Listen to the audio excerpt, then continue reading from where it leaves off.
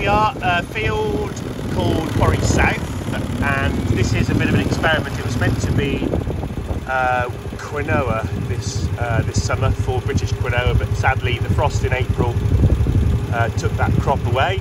Uh, so we took the opportunity to plant a living mulch in here, so an understory of white clover. This is um, uh, a very short stemmed variety, so uh, we will be able to plant directly into this uh, in the next few weeks.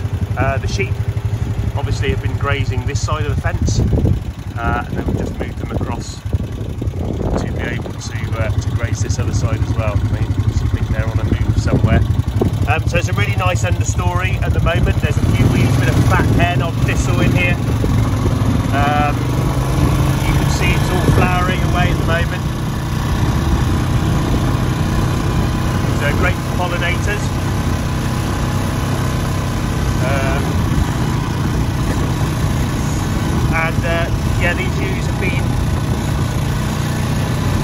on here for about 10, well, 10 days on the other side A little bit patchy here, just under the wood. Uh, it's worked really well from a mixed farming point of view. We're able to get these sheep off the grass, give them some really good high protein grazing. Uh, this is the older group of sheep are mainly uh, Romney Cross Aberfields um, that have been uh, been on the farm for a few years now. These are actually the Challenge Sheep Group, part of the AHDB's project to have a look at um,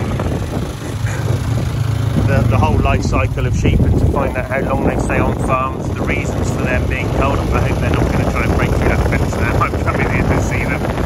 Um, leave them be now, they seem quite happy out here. So yeah, we'll try and graze this half down probably for about another week.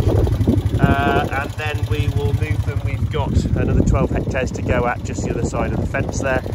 Um, and then we'll be straight in here with a cross slot to uh, to plant some wheat. Uh, so hopefully it's going to dry up a little bit. We definitely needed some rain out here. It was bone dry. Uh, but we just hope that um, it's actually going to stop raining soon and uh, we'll be able to carry on with the drilling. So yeah, living mulch going into wheat, and we'll try and keep this understory going for as long as we possibly can uh, in the rotation. Uh, we'll reduce the nitrogen that we put to the, the, cereal crop, the wheat crop. This will obviously be fixing nitrogen. We dug some roots out of here the other day. Um, and uh, they're really great tap roots, lots of nodulation going on. So uh, this will be fixing nitrogen. The sheep grazing it will be triggering uh, the release of that nitrogen into the soil. Uh, hopefully then that will be available for our crop when we uh, when we plant it say in about a week 10 days time. It's the 1st of October today. It's a lovely day at the moment.